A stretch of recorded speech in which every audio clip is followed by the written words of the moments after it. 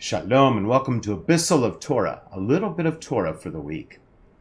This week's Torah portion, Tetzaveh, from the book of Exodus, continues with the building of the tabernacle, the portable sanctuary, or Mishkan.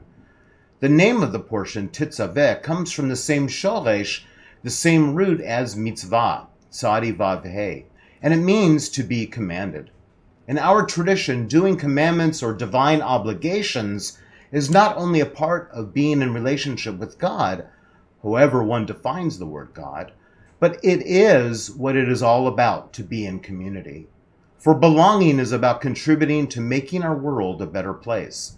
For in the end, doing mitzvot helps us feel that we are part of something bigger and more wonderful than ourselves. Shalom.